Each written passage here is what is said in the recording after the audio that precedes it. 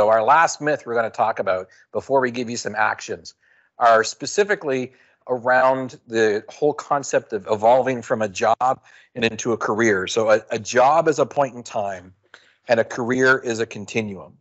And I'm going to let you kick this one off specifically just so we can make sure we get to the salient points on this one before the recommendations. Okay, so when we're talking about the career being a continuum, um, what we're really talking about is if you look at back at your jobs or your set of jobs, you can understand how you got to where you are now, even though the, the jobs that you took might have been random and might not exactly been planned out. But if you look back at the map you've drawn to get to where you are, you can somewhat get an understanding of where you're going to go. Now, when we come back to that idea of IT being problem solving, you will have worked out that at the beginning of my career, I was reactively solving a certain type of job. And as I got more skilled, as I became more knowledgeable, I began to solve bigger and more complicated problems. And that's the arc of where your career is going. You should never be just solving the same set of problems all the time. You should always be increasing the scope and increasing the quality of your toolkit. When we're young, we have a lot of what we call fluid intelligence. And fluid intelligence is the ability to sort of nut something out, to reason very quickly and figure out, given just what we've got in front of us, how we solve a problem. But through the experience of solving problems over the course of decades, we build up what's called crystallized intelligence. We build up strategies for solving problems. So instead of just randomly throwing things at the wall to see what solves the problem, we've seen enough problems and we've seen what solving a problem incorrectly does that we actually approach it in a better way. And this comes back to this idea of why why a surgeon is at the peak of their career in their mid 40s. Why? Because they've made mistakes and they know how to not make those mistakes the accountant knows what the mistakes are, what the pitfalls are. And that's what we're talking about when you're thinking of a career as a continuum. You won't know exactly what you're going to be doing in five years, but you want it to be that in five years, you can look back and you can see how the dots align to have got you to where you are. When you're a junior, you're solving problems that are brought to you. When you are moving towards the later phase of your career, you should be able to look at the environment and actually discover problems that need to be solved that no one else has actually seen that would overall benefit your organization, that will bring your organization forward because you actually understand how everything fits together. And that is also part of the continuum, which is your career. Yeah, the uh, we use that a lot in our career discussions at Microsoft about again being more junior in your career. You're reacting to things, you're getting things solved, and and being a high performer. But people are telling you what's wrong, or, or you you identify what's wrong quite quickly. You haven't taken a step back to look at the bigger picture and find things that were wrong that no one else has identified before. And we call that principle level thinking to get into that next level of band, as an example for where Orin sits right now.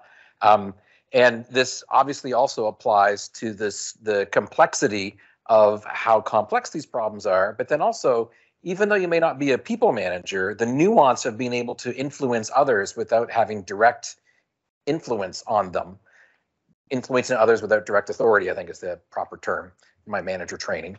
Um, that uh, it is also demonstrates the skills that you would have learned growing up through working in different teams and different things inside of IT. Now, again, being mindful of time, we have some recommendations and some action items that you can go off and use to apply towards this. And so the first one that we wanted to go off and to share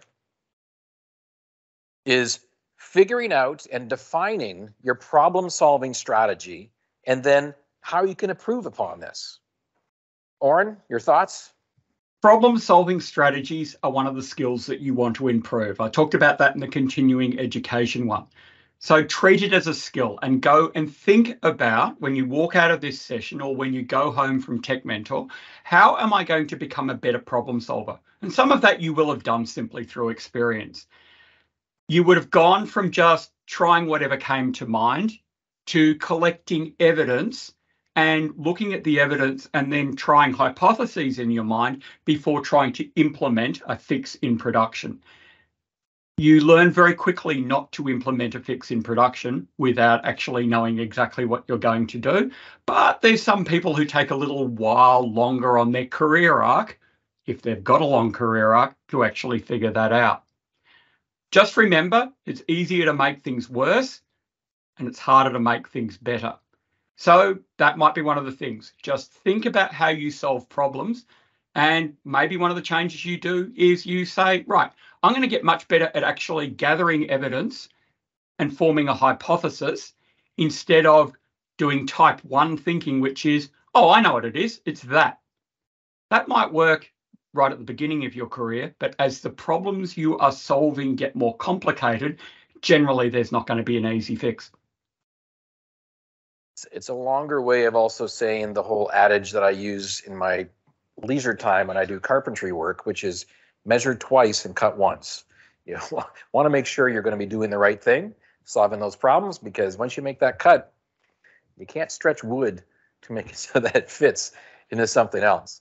Um, but the, the, the to build on this whole concept of problem solving and how you can improve upon it is leading us to our second item that we have uh, to share, which is starting to deal with systemic problems rather than point in time.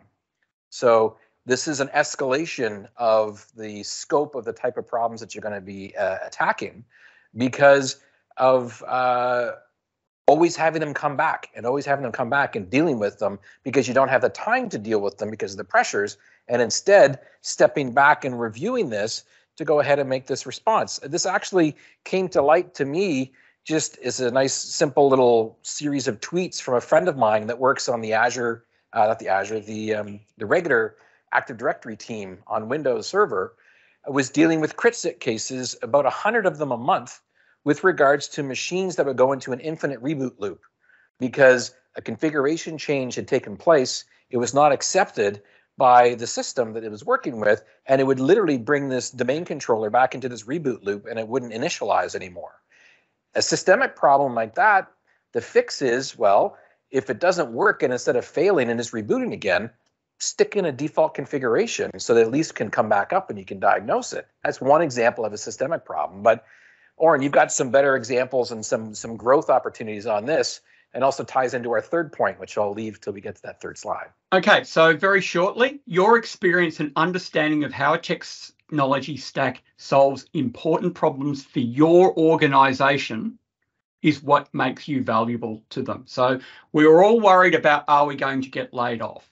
Or, you know, if there's a reduction in headcount, am I going to be the one reduced? Your value to the organization isn't that you just know how this technology stack works. It's that you know how this technology stack solves problems for your organization. And you can also figure out how this existing technology stack can be used to solve other problems for your organization. And if you can do that, you're far more valuable than someone who just understands the technology stack but doesn't understand the context into which it's deployed. And that brings us to our last piece of information or suggestions or recommendations to, for people to go off and to share. And this is a one that's near and dear to my heart as well, which is figuring out how to bring others up to where you are inside of your organization helping others figure out what you figured out so that they can go further too. So this isn't just about that sort of touchy feely sort of bring others along and you will be happy yourself. No, what it's about is that by explaining things, you understand where your own holes in your understanding are and you improve your understanding. Now, another thing in making yourself valuable to your organization is that if you are the person that people come to to learn how the organization and the technology stack works, that makes you infinitely valuable because they can always replace someone else who knows that technology stack, but they can't replace the person who can teach someone how the context of the organization and how it interacts with that technology stack. So as you move towards the twilight phase of your career, become a mentor and learn how to teach others so that they understand all of that crystallized intelligence and that you're able to pass on that crystallized knowledge to them so that they are more effective. Your organization is going to be much more effective if all of the components of people that you work with are at their peak. And the more that you can do to help that, the more valuable you are to your organization.